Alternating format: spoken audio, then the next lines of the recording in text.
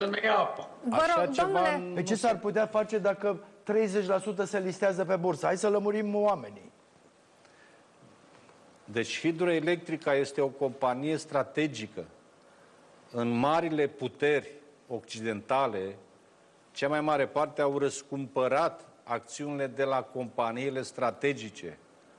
Vrei să fii un stat puternic care să-ți aperi cetățenii în această nebunie geopolitică, nebunie mondială, trebuie să ai frânele energetice în mâna ta, la guvern. Dacă vrei să fii un stat slab, așa cum îl fac în mod deliberat și intenționat Iohannis, PSD, PNL, UDMR, atunci dai tot. aici, domnule Dragnea, e o discuție pentru că atunci când a fost 100% la stat, Autorității Unite în trecut a fost căpușată, a fost timp îndelungat până când uh, ea a trecut prin niște procese pentru a fi curățată. Nu, deci nu, cu cancanul ăsta, sincer, nu mai pot. Ia. Dă o Hai, dracu de explicați. căpușeală, îmi cer scuze, n-am Aoleu, vorbit stați că niciodată nu așa. sunt pe 12 noaptea, mă N-am amendează vorbit niciodată cineva. așa, dar... Deci, deci noi murim. Pur și simplu murim. Adică nu mai suport să discutăm despre astea, sincer. Asta a era căpușeală? Uite aici căpușeală. De la 181 de lei cât pleacă de la porțile de fier, da?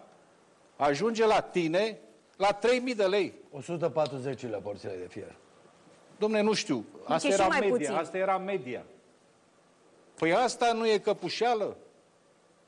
Noi mai stăm să v- vedem ce a făcut Decebal acum Păi Și de ce vă 2000 de- enervați? Poftim? De ce vă enervați? Pentru că mi-e frică de ce se poate întâmpla, frate. Sincer. Adică chiar văd, atunci când am luat măsura aia, știam unde se va ajunge. N-am luat așa că am visat noapte eu cu Darius Vâlcov. Adică chiar știam.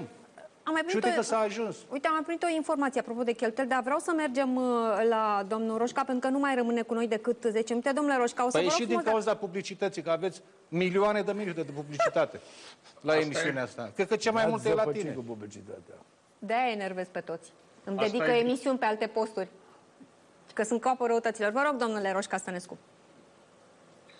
Păi, uh, eu îi dau dreptate domnului Dragnea să se enerveze, pentru că urmărind foarte atent uh, scena politică și luările de poziție ale domniei sale atunci când era pe cai mari și urmărindu-le critic, dacă vrei, că n-am fost psd niciodată, am fost uh, în zona liberală sau Mă rog, nici cu partidul ăsta nu mă pot înțelege.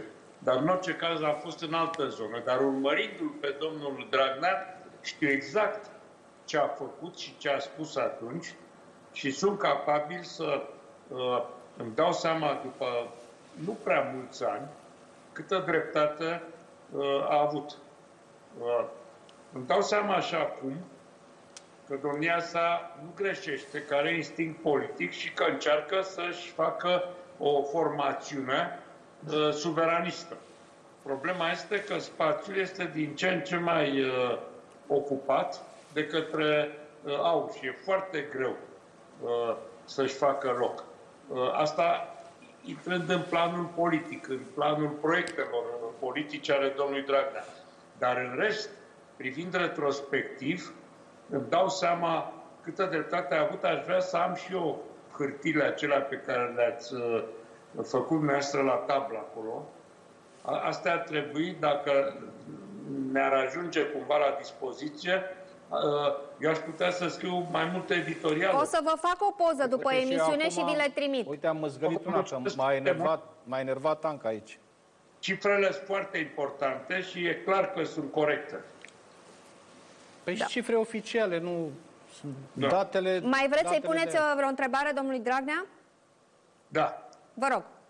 Vreau să-l întreb ce va face săptămâna viitoare. Dacă iară dispare sau reapare pe posturile de televiziune, pentru că uh, m-a deranjat, ca să fiu sincer, faptul că a dispărut uh, atât de mult timp. Îi înțeleg uh, problemele, dar uh, atunci când suntem oameni politici, nu avem probleme personale.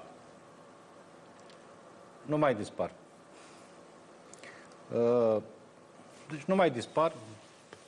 Îmi cer scuze, asta nu s-a întâmplat niciodată, dar nu vreau să comentez mai mult.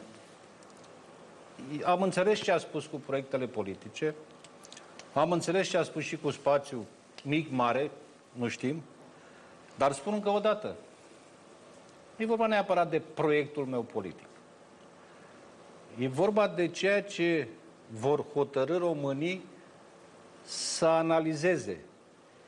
De ce se vor lăsa influențați în continuare românii? Dacă vor alege minciuna actuală cu aceste măsuri care le fac viața, cum să spun, un coșmar. Sau vor merge pe gălăgie și populism, dar în spate nu e nimic.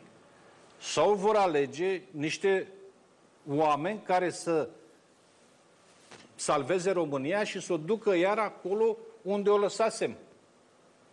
Cu bunăstare, cu taxe scăzute, cu salarii care creșteau mereu, cu pensii care creșteau mereu, da? cu firmele care se înființau, sute de mii de firme, da? cu bugetul crescut cu peste 30%, cu PIB-ul crescut cu peste 30%, cu stabilitate economică, cu agricultoria care a generat porumb și floarea soarelui pe primul loc în Europa doi ani la rând, sau se merge pe populism, adică dintr-un spectacol în altul.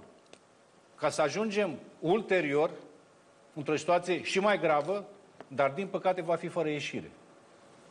Nu e proiectul meu politic. Da, susțin acest partid, căutăm și am început să găsim din ce în ce mai mulți patrioți, dar oameni care să și știe să facă lucruri. Pentru că, din păcate, expertiza acum nu mai nici la PSD, nu mai, nici la PNL, nici nu mai interesează. Nici nu mai interesează. Și nu mai văd nici în altă parte. Doar UDMR-ul care totuși are niște interese de nișă și cam atât. Da. Vă mulțumesc foarte mult pentru intervenția din această seară, domnule Sorin Roș Castănescu. Uh, vă urez seară bună. O să ne revedem la alte ediții ale Culiselor Statului Paralel. Rămânem doar uh, noi trei aici în platou. Am primit o Te rog. factură uh, la 600 de metri cubi. Frate meu are la E.ON uh, gaz și a plătit uh, uh, 970 de lei cu o compensare de uh, 160 de lei și pe aceeași sumă îmi trimite un prieten uh, la NG uh, tot 600 de metri cub consumați, 1700 de lei pe luna asta, trebuie să plătească factura, fără nicio compensație. Deci e o brambureală între companiile astea care ne-au adus aici binele, nu? spus mai devreme că am primit și eu. M-a întrebat chiar fiul meu în seara asta, înainte de emisiune, de ce vin facturi mai mari decât a stabilit guvernul.